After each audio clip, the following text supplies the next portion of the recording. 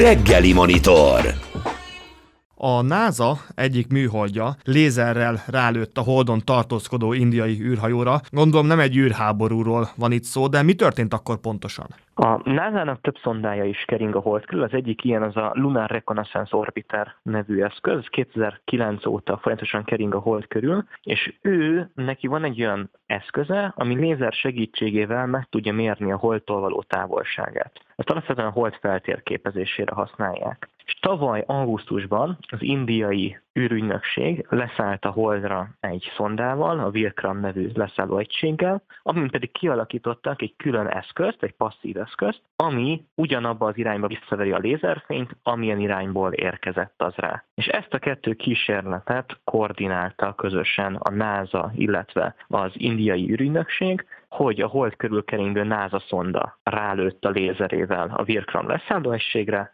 onnan visszapattant, és ezzel megmérték a pontos pozícióját a felszínen magának a leszállóegységnek. Ez azért fontos, mert most először próbálták ki ezt a technológiát, magát a retroreflektorokat, tehát hogy visszalövik a lézerfényt. Ezt folyamatosan használjuk például föld körül keringő műholdaknál, de ezeknél mindig úgy működik, hogy a földről, tehát egy állóhelyről indítjuk a lézersugarat, és megmérjük, hogy a mozgó eszköz az hol található, milyen messze tőlünk. Most először történt meg ennek a fordítottja, tehát, hogy egy mozgó műholdról álló felszínen lévő egységnek a pozícióját pontosan be lehetett azonosítani. Milyen fázisban van egyébként jelenleg ez a kísérlet? Ezzel meg is valósult a teljes misszió? Ez mind a kettő tudományos küldetésnek egy apró kis részfejezete. Maga a kísérlet az 2023. decemberében megtörtént, most arra sikeresen kiértékelték az adatokat is. Ez egy első lépése lehet a további kampánynak, tehát folytatják majd, ugyanezt a kísérletet többször elvégzik,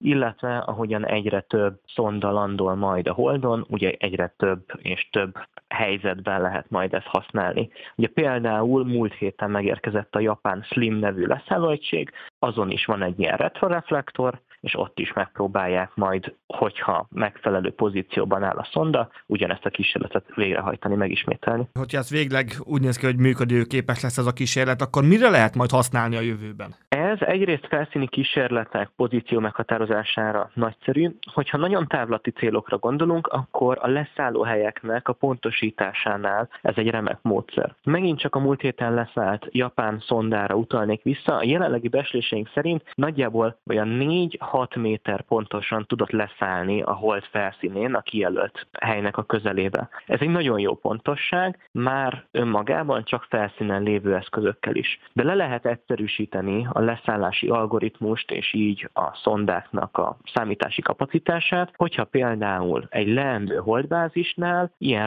reflektorokból kialakítanak egy leszálló helységet. És akkor, ahogyan ereszkednek az űrhajók, folyamatosan tudják mozgatni saját magukat, hogy a megfelelő helyre érkezenek, és így gyorsulhat, illetve leegyszerűsíthet például egy holdbázisnak az ellátása a földi termékekkel. Az indiai eszközről mit lehet tudni egyébként, amire most rálőttek? Ez csupán egy eszköz volt a NASA kísérletéhez, vagy különböző munkálatokat hajt végre ez az eszköz a Holdon? Maga a Vilkram leszálló egység, ő az indiaiaknak egy működő szondája volt, ugye ő most már kikapcsolt. Ezt különböző tudományos kísérleteket végzett, volt vele egy kis holdjáró is, megvizsgálta a holdi kőzeteknek az összetételét, vizsgálta a holdból kiáramló rendkívül ritka gázokat, illetve egyéb talajtani vizsgálatokat is végzett a holdnak a felszínén. Ugye tavalyi kísérletről van szó, maga a szonda, ő már nem működött, tehát neki a tudományos eszközei akkor, amikor elvégezték ezt a kísérletet, már nem működtek, ezért jó, hogy ez az eszköz, ami a felszínen van, ő egy passzív egység, tehát gyakorlatilag tükrökről van szó, az kikapcsolás után 10-20-30 évvel is ugyanúgy működik. Várható, hogy a közeljövőben élesben is használják majd a NASA lézerlövésre alkalmas műholdját? Ennek pusztán tudományos jelentősége van, tehát hasonló tudományos felmérésekre fogják használni, tovább pontosítják majd az algoritmusokat, de itt egyáltalán nincsen szükség, nem is terv és nem is része a fejlesztés az bármilyen katonai megoldásnak. Itt a lézer kísérlet mellett egyébként volt egy másik kutatás, amiből az derült ki, hogy hatalmas mennyiségű fagyott vizet találtak a Marson. Jelent ez bármit egyébként számunkra? Lehet ezt esetleg használni később valamire? Természetesen nagyon fontos más égi testeken lévő nyersanyagoknak a felmérése, és itt a víz az egyik legfontosabb, abban az esetben, hogyha például emberi kolóniákat akarunk telepíteni, akár Marsra, akár a Holdra. Ezek azért fontosak, mert úgy érdemes leszállnunk, hogy nyersanyagban gazdag területeken legyünk, hiszen akkor rögtön helyben fel lehet őket használni.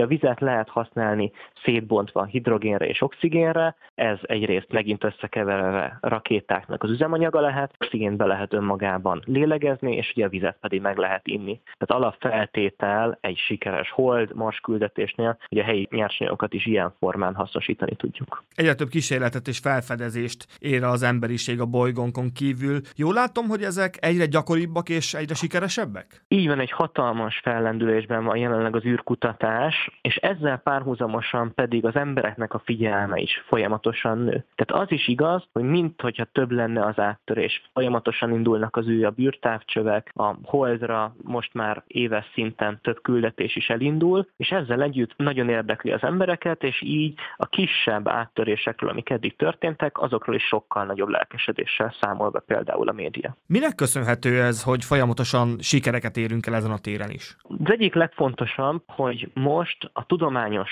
kíváncsiság mellett abszolút megjelent politikai és gazdasági érdek is a világűrben. Tehát űrbányászatra, hogyha gondolunk, vagy például a föld körül keringő műholdaknak az ipari használatára, akár mondjuk internetszolgáltatás, amit a jelenlegi legnagyobb műhold flotta működtet. És emiatt, hogy gazdasági haszon is van, sokkal több pénz ömlik erre a területre, és így egyszerűen szükségszerűen gyorsul a fejlődés. Mikor jöhet el az az időszak, amikor profitálhatunk ebből, akár az űrbányászatból? Azt szokták mondani, hogy jósolni nagyon nehéz, különösen, hogyha a jövőről van szó. Magának az űriparnak az előnyeit azt már most is élvezi az emberiség, még egyszer például az internet szolgáltató műholdakkal, vagy a GPS-es közlekedést, hogyha valaki használja. Tehát ezek már most is abszolút itt vannak a közelünkben.